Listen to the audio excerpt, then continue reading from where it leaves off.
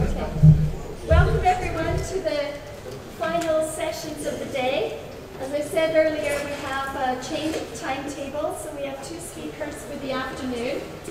Um, so we will finish early. Um, Alessandra has said 15 minutes, so I'm going to be very firm with that. But as you know, many of you, giving presentations in 15 minutes is very difficult. Um, so if there um, is no time for questions in the 15 minutes, or uh, we're hoping there will be, I'm going to be sharp with the 15 minutes, but because that's only a short two speakers, I welcome people to come and speak to them afterwards um, at um, 10 past 5, which is when we're going to aim to finish. Okay, so our first speaker is Vincenzo Di Pierri. Um, and he's speaking on testing theories of gravity with the Bepi-Colombo radio science experiment.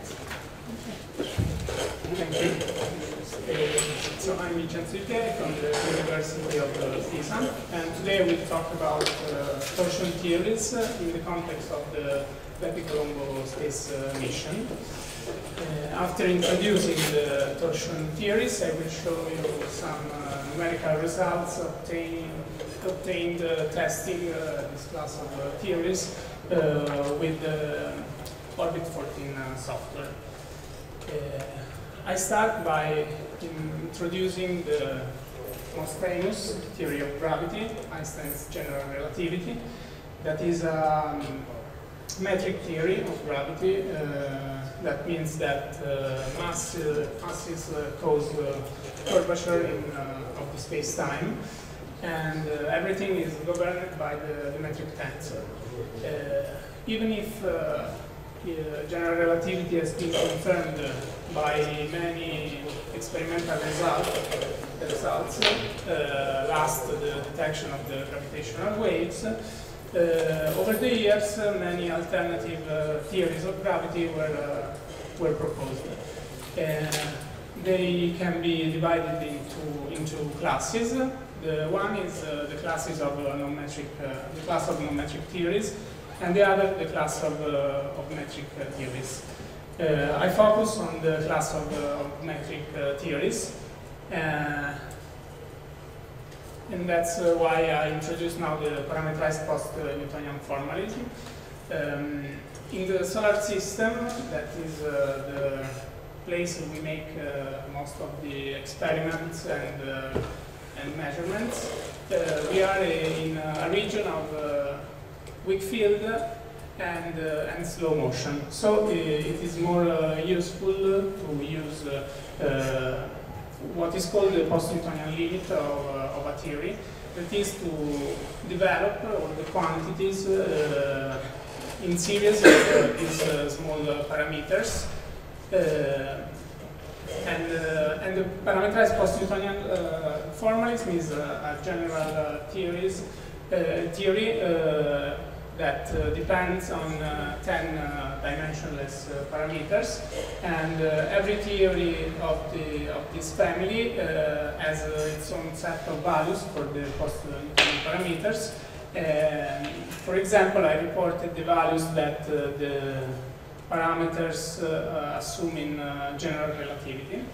Uh, in this work, I consider only the parameters gamma and beta. Let me now introduce the torsion theories. Um, I start by saying that in, in a manifold, uh, the general expression of the connection is given by this formula, where uh, we have that the first part is the uh, symmetric part of the connection, it is the Levi-Civita connection. And second part uh, is given by a combination of uh, the torsion tensor. Well, in general relativity and uh, post-Newtonian formalism, we have that uh, the torsion tensor uh, uh, is zero everywhere, and so the connection is symmetric. whereas in the when we consider uh, torsion theories, we are not assuming, we are assuming that the torsion tensor could be non-zero uh, somewhere. So it's not zero everywhere.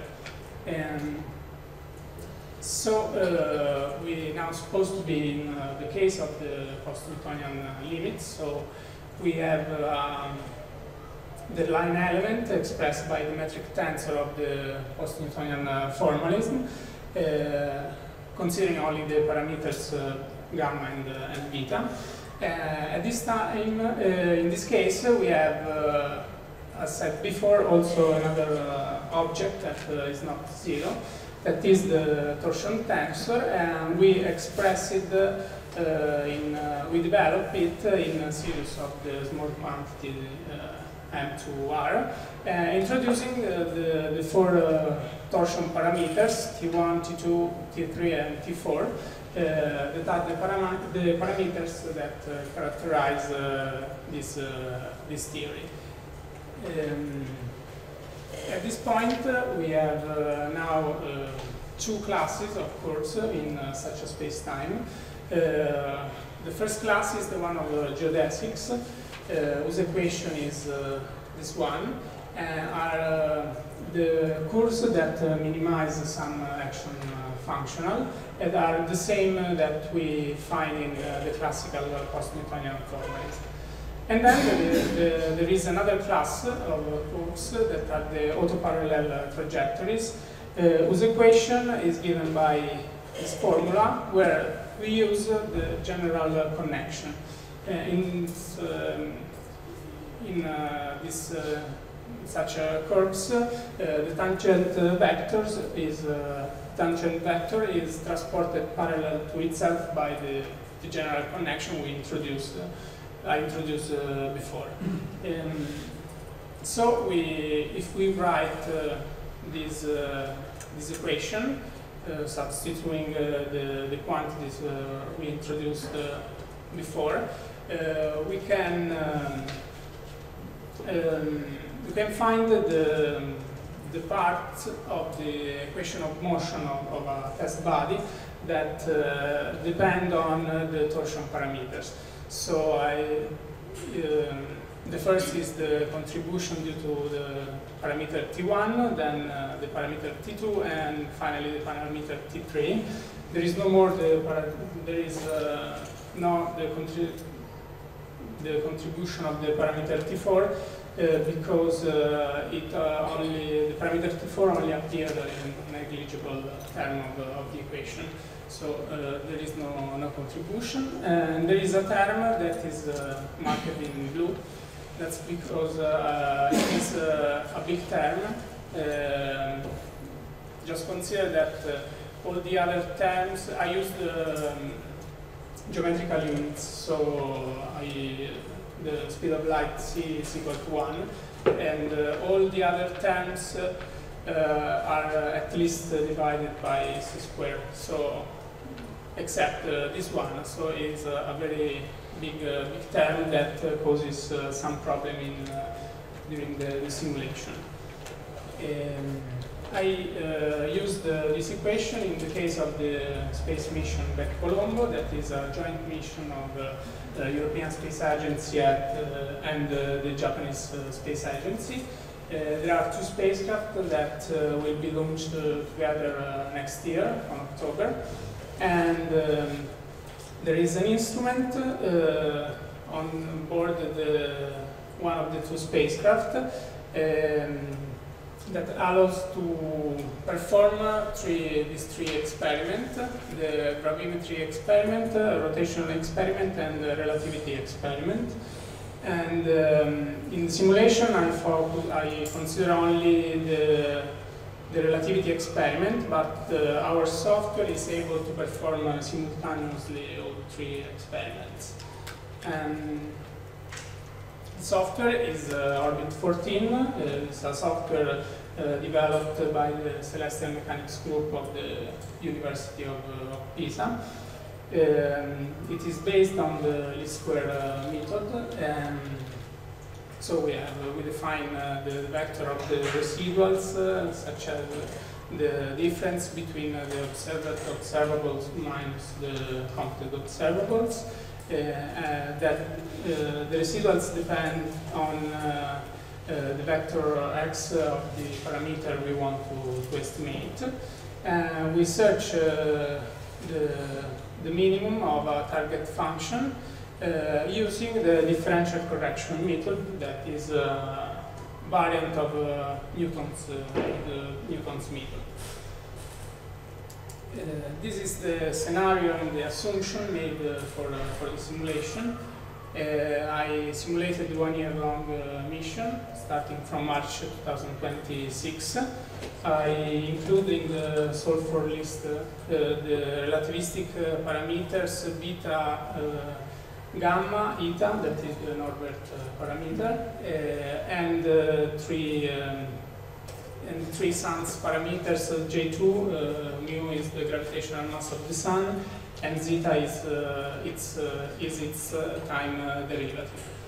Then the, the, torsion parameters that I introduced uh, before, and the state vector of uh, Mercury and the Earth-Moon uh, barycenter. I assumed an a priori on gamma that will be obtained uh, during the cruise phase of the, of the mission, and uh, I assumed the, the normal equation where uh, the parameter eta is related to the parameter beta and, and gamma. Um, the list of the simulation performed can be uh, divided in uh, four points. Uh, I made a nominal simulation um, solving only for the relativistic uh, parameters and the sun's uh, parameters. Then I, add, I added to the solve for list the torsion parameters and, and then I, I, I did a sensitivity study uh, imposing a displacement constraint over the parameter uh, T1 uh, and then a simulation without estimating uh, the sun's parameter uh, mu and, and zeta.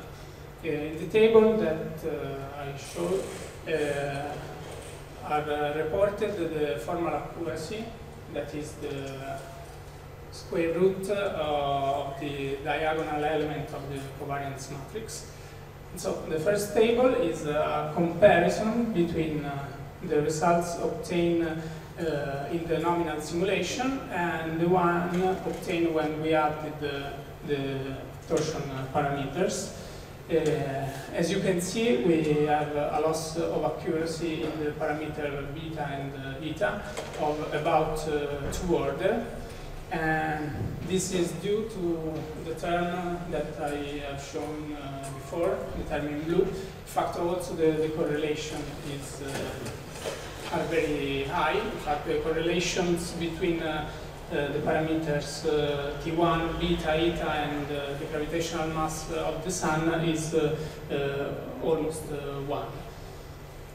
so I choose, we have two ways to, to avoid this loss of accuracy. One is to find a limit, a limit to the parameter T1, and so I performed this uh, sensitivity study.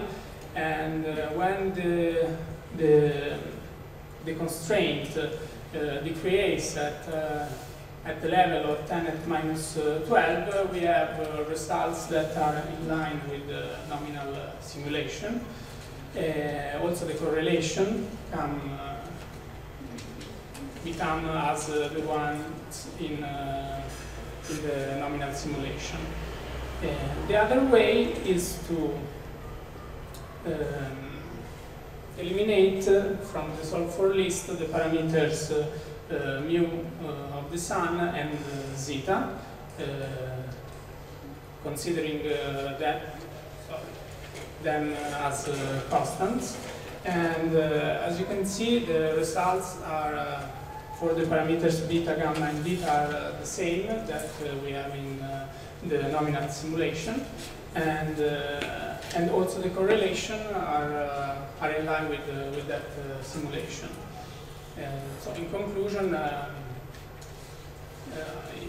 I show that uh, it is possible to test uh, this uh, kind of theories with with